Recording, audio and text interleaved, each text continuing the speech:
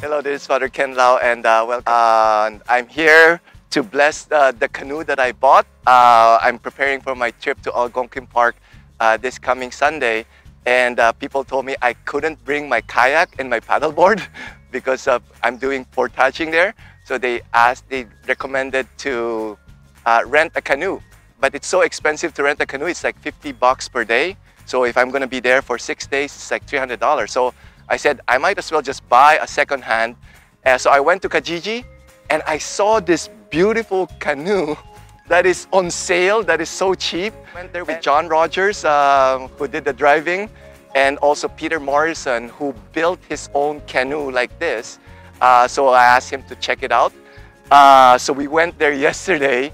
Uh, we talked to the, uh, we were able to meet with the, the builder of the canoe. His name is Tom Wills and uh, he's so he's an Anglican and uh, he's just so kind and he gave me a good discount and uh, the model is a Prospector uh, so it's very light uh, it weighs less than 40 pounds uh, so it could be for a solo canoeer but also a provision for a passenger. It was way above my budget, but he gave me a good good discount and also I have some anonymous donors who helped out also.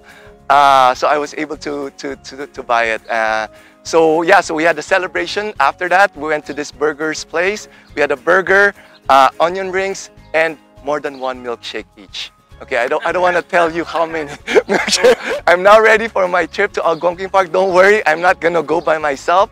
I'm gonna be with uh, a person who's very experienced in going to Algonquin Park and also in uh, doing some canoe camping. The Father and of the Son and of the Holy Spirit. Amen. The grace of our Lord Jesus Christ and love of God, the communion of the Holy Spirit be with you all, with your spirit. So together, we, we today we gather to bless this canoe uh, and those who will use it for pleasure. The Lord calmed the Sea of Galilee and brought his disciples to safety. We commend those who sail this craft into his care. Okay? So brothers and sisters, uh, listen to the words of the Holy Gospel according to Matthew. Jesus got into a boat and his disciples followed him. Suddenly, a violent storm came up on the sea so that the boat was being swamped by waves. But Jesus was asleep.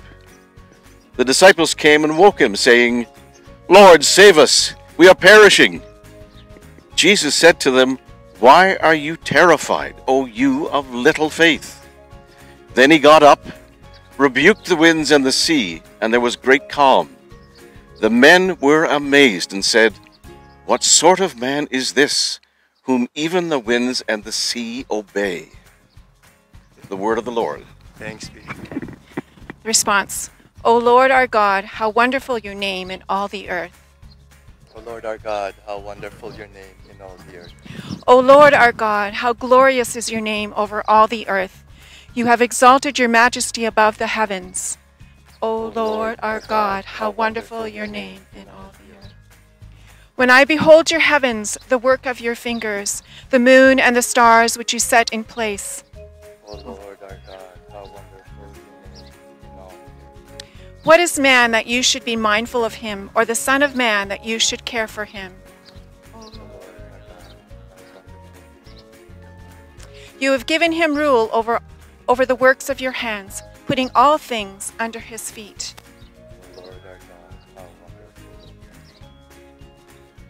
All sheep and oxen, yes, and the beasts of the field.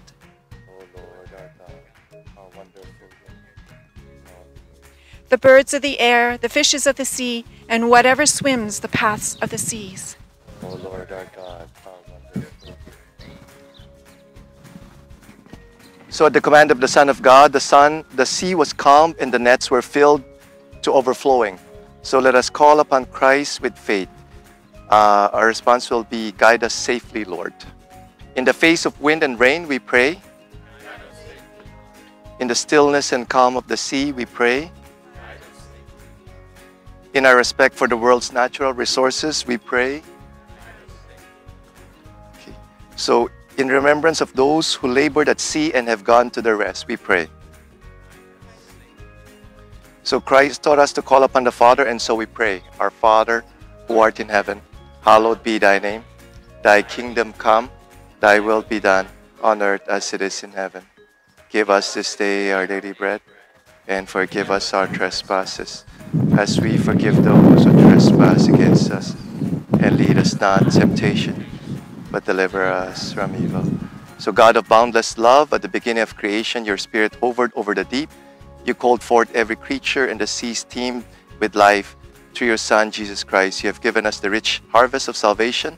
Bless this canoe, its equipment, and all who will use it. Protect them from the dangers of wind and rain and all the perils of the deep. May Christ, who calmed the storm and filled the nets of his disciples, bring us all to the harbor of light and peace. Grant this through Christ our Lord. The Lord be with you. And may Almighty God bless you, the Father, and the Son, and the Holy Spirit. Amen. Okay. I'm just going to bless this.